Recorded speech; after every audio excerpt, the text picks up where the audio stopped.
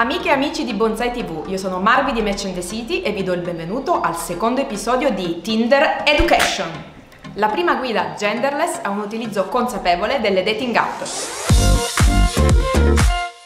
Riassunto delle puntate precedenti. Vi abbiamo già parlato di quanto sia importante la bio. Beh, anche la scelta delle foto non è da meno e quindi in questo episodio vi parleremo di come scegliere la, o meglio, le foto per il vostro profilo la foto con l'animale di turno, immagini di gruppo, filtri, selfie da poser e bambini.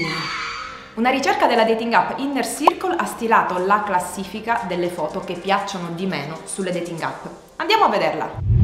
E cedi con i filtri? Per il 43% degli intervistati non è un segno di creatività, perché sembri un fake. Bello il paesaggio, ma tu dove sei? Troppe immagini senza l'utente non piacciono al 36% degli intervistati. Hai messo una sola foto? Male male. Per il 35% non è un buon segno. Vedi mai fosse l'unica venuta bene. Foto con gli occhiali da sole o cappelli? Al 29% non piace giocare a nascondino. Sembrare diversi in ogni foto? Il 24% non ama giocare a come sei veramente. Foto di scarsa qualità. Attenzione, il 23% degli intervistati non le apprezzerebbe.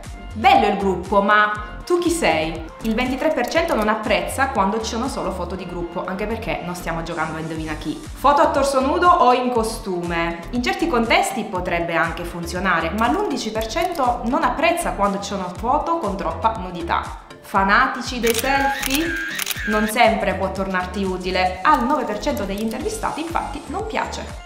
E per ultimo, a tutti piacciono i bambini, più o meno, ma non quando sono sui profili di dating app. E adesso andiamo sul concreto. Quali sono le foto migliori da scegliere per il proprio profilo? Ecco alcuni consigli fondamentali.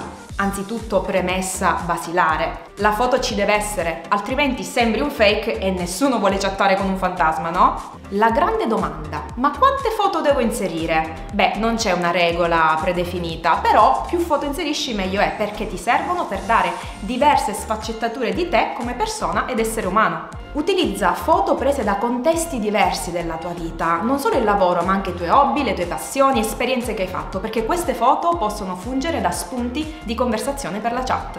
Allora che ne dite? Vi piacciono le foto che avete usato per il vostro profilo o dopo questo video andrete già a cambiarle? Fatecelo sapere nei commenti. Adesso iscriviti al canale, metti mi piace a questo video e corri a matchare la tua persona ideale.